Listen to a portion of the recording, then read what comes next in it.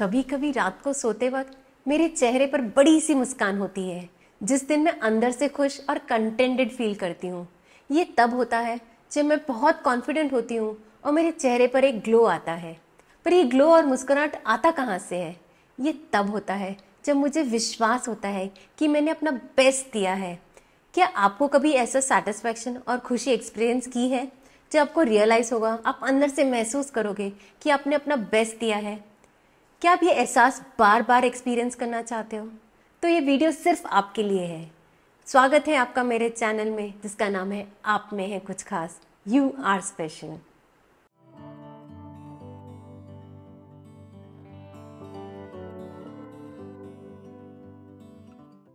नमस्ते, मैं हूँ शची सेठ राइटर ऑन्ट्रप्रनर लाइफ कोच और आपकी अच्छी दोस्त।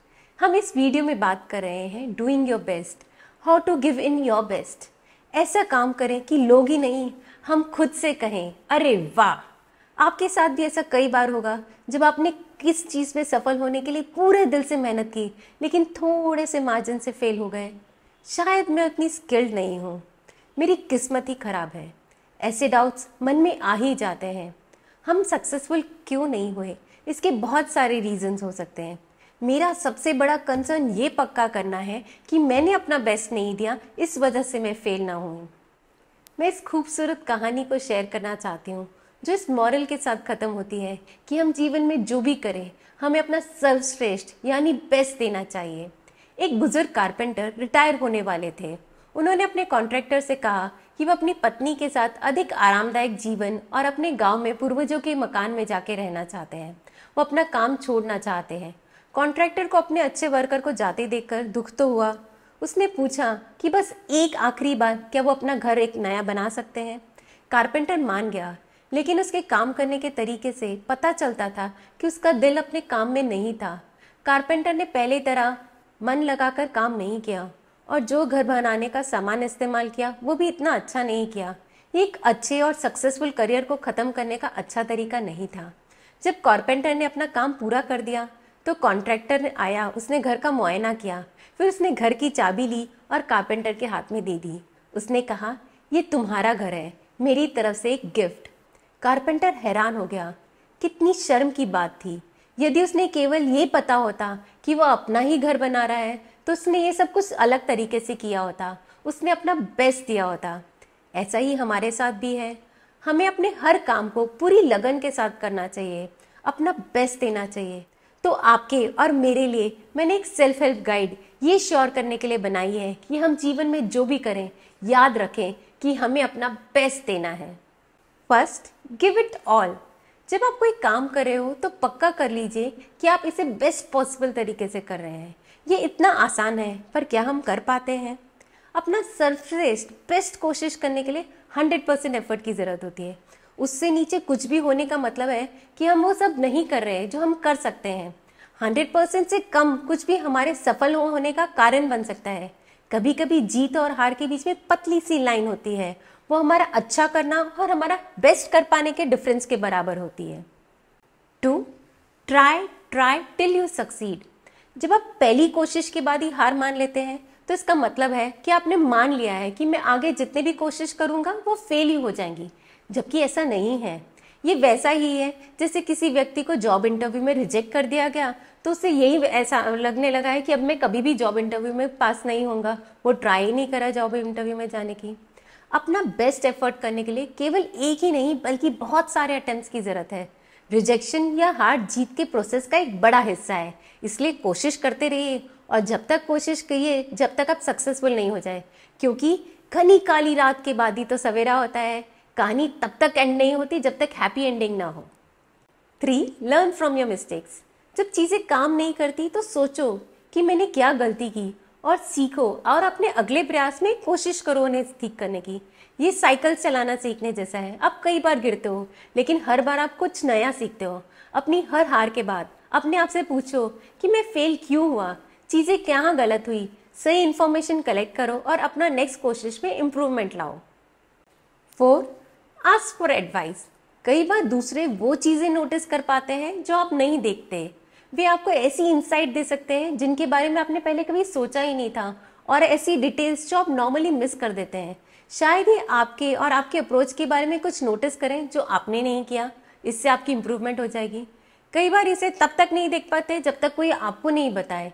यदि आपके पास किसी ने ऐसे व्यक्ति है जो आपके करने वाले काम में ऑलरेडी सक्सेसफुल हो गया है तो उसकी राय ज़रूर लें। आपको सक्सेसफुल होने में बहुत हेल्प हो जाएगी। फाइव बी ऑप्टिमिस्टिक मैं हमेशा पॉजिटिव रहने की सलाह देती हूँ। पेसिमिज्म है ही इतनी हार्मफुल नेगेटिव थॉट्स खाली नेगेटिव रिजल्ट्स देते हैं। ऑप्टिमिस्टिक बने रहें। हमेशा पॉजिटिव रहें। अपने कॉन्फिडेंस और विश्वास बढ़ता रहेगा। आप ऐसे काम करेंगे जो आप इमेजिन भी नहीं कर सकते। अनजाने में ही आप सक्सेसफुल हो जाएँगे। Six if you fail do it in a dignified way भले ही आप पूरी कोशिश करते हैं फिर भी कभी कभी आप फेल हो जाते हैं। हार का दुख भी होता है।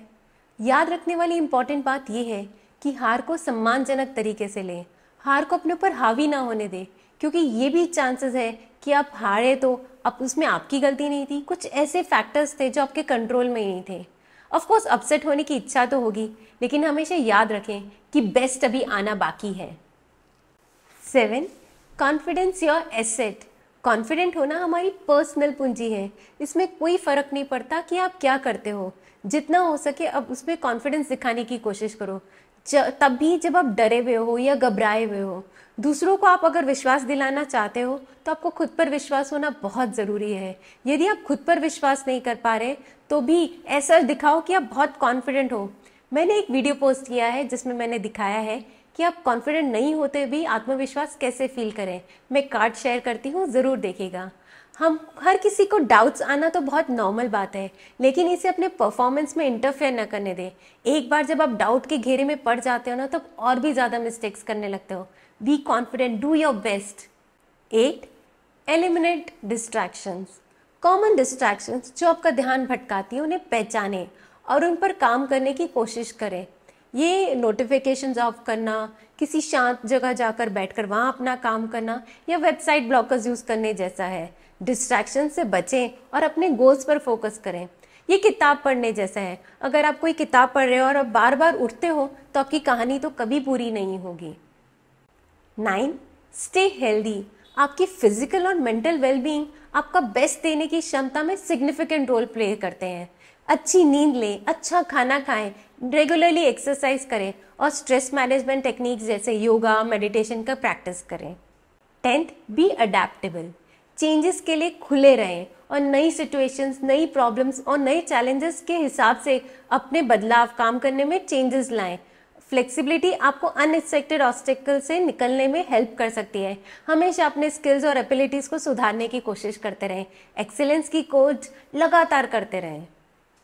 इलेवन स्टे कमिटेड लगातार अपना बेस्ट देने के लिए कमिटमेंट बहुत ज़रूरी है। अपने गोल्स के लिए स्ट्रांगली डेडिकेटेड रहें और उन्हें हासिल करने के लिए अपने रीजंस को अपने को याद दिलाते रहें। कोशिश करते रहें। ट्वेल्व कीप लर्निंग नई चीज़ें सीखने के लिए हमेशा तैयार रहें। नॉलेज एक ट्रेजर की तरह है, जो अलग अलग सिचुएशंस में आपकी मदद कर सकता है। अपने चुने हुए फ़ील्ड में अपनी नॉलेज अपने स्किल्स को कंटिन्यूसली बढ़ाते रहें। सही नॉलेज और जानकारी होगी तो आपको अपना बेस्ट देने में बहुत आसानी होगी। थर्टीन कम्पीट फ्यूअरलेसली जब अपना बेस्ट देते हैं ना तो आप इस बात की चिंता नहीं करते कि दूसरे क्या कर रहे हैं? आप अपने काम पर इतना फोकस हो जाते हैं कि आपको दूसरों की बिल्कुल चिंता नहीं रहती। गोल एक फेयरलेस स्पिरिट के साथ कंपटीशन करने जैसा है, जिसका मतलब है विश्वास करें और किसी भी हालत या सिचुएशन से डरे नहीं। कई बार क्या होता है, कोई गेम से पहले या मीटिंग से पहले जो टीम मेट्स या प्लेयर्स हैं, सामने वाली टीम अच्छी है, ये डर से ही मेंटली हार जाते हैं। हमें ये नहीं करना है, हमें निडर होके काम करना है, अपना फोकस पूरा अपने काम पे लगाना है तो अपना बेस्ट हम दे पाएँगे। अपना बेस्ट देने का मतलब ये नहीं है कि आप जो भी कर रहे हो वो परफेक्ट हो। बल्कि इसका मतलब ये है कि आप पूरी कोशिश करते हैं और अपने काम में सुधार लाते हैं। अपने गोल्स तक पहुँचने के लिए लगातार अटेम्प्ट करते रहते हैं। अपना बेस्ट देने की जर्नी थोड़ी पर्सनल है और परफॉर्मेंस डिज़ायर्ड लेवल तक पाने के लिए आपको थोड़ा टाइम लगेगा, थोड़ी पेशेंस लगेगी। आप जो भी करें, आप उसमें पूरी सफलता मिले। मैं आशा करती हूँ कि वीडियो आपको बहुत हेल्पफुल हुआ होगा। यदि हाँ तो जल्दी से थम्स अप बटन दबा दीजिए और मेरे ऐसे और वीडियोस के लिए मुझे सब्सक्राइब कीजिए। बेल आइकॉन मत भूलिएगा नोटिफिकेशंस के लिए। आज के लिए इतना ही। आपका दिन बहुत बहुत बहुत शुभ हो। Good bye. God bless.